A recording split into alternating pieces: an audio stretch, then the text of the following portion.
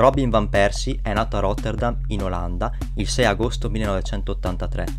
Iniziò la carriera nelle giovanili della squadra olandese dell'SBV Excelsior nel 2001. Dopo varie annate nella stessa squadra, fu chiamato dal Feyenoord, nel quale firmò un contratto e debuttò in prima squadra a 17 anni e 6 mesi.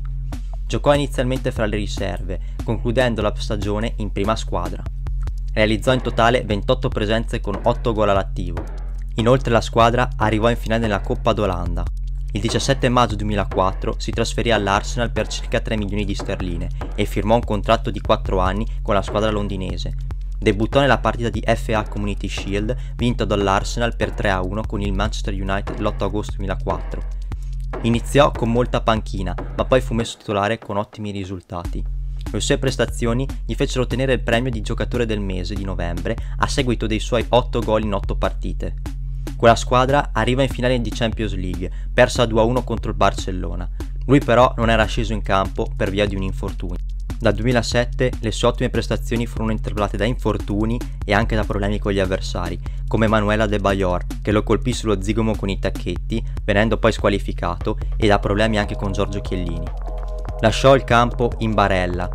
Van Persie non tornerà in campo prima di aprile 2010. Termina la stagione 2011-2012 con 30 gol in 38 presenze, suo record, diventando così il capocannoniere della stagione. Annuncerà però poi di non voler rinnovare il suo contratto. Sono 132 gol in 278 presenze, in tutte le competizioni. 17 agosto 2012 passa ufficialmente al Manchester United, firmando un contratto di 4 anni per una cifra vicina ai 23 milioni di sterline, che sono più o meno 28 milioni di euro. Il 22 aprile 2013, a 4 giornate dalla fine del campionato, vince aritmeticamente la sua prima Premier League grazie alla vittoria interna per 3-0 contro l'Aston Villa, dove è autore di una tripletta. 19 marzo 2014 realizza una tripletta contro l'Olympiacos che permette al Manchester United di accedere ai quarti di finale della Champions League 2013-2014. Nel periodo ultimo ci furono delle difficoltà, concluse però la sua esperienza a Manchester con 58 gol in 105 partite totali. L'11 luglio 2015 viene acquistato dai turchi del Fenerbahce per 5,5 milioni di euro.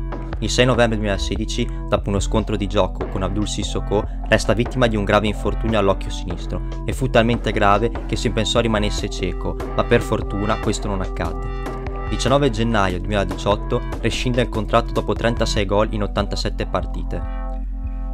Nello stesso anno firmò con il Feyenoord e a pochi secondi dal nuovo esordio segna, vince la sua prima Coppa d'Olanda il 22 aprile seguente, realizzando un gol in finale. Il 4 agosto vince la Supercoppa d'Olanda ai rigori contro il PSV.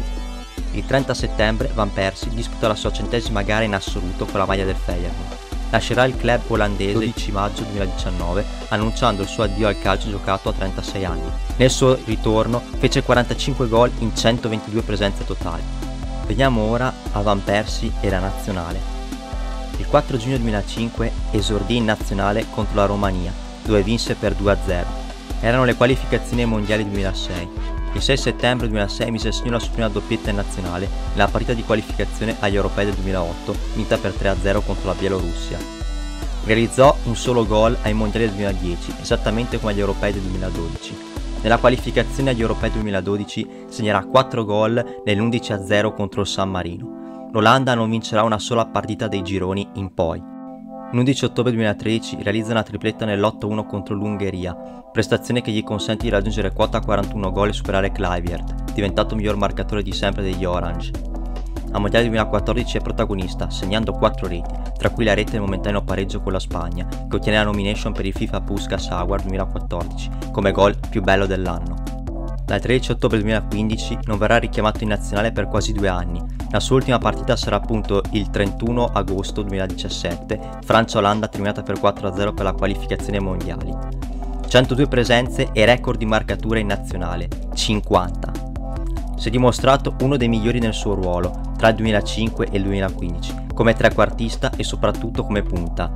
Giocatore completo, dotato di buona forza fisica, era molto bravo nei tiri dalla distanza e nelle punizioni.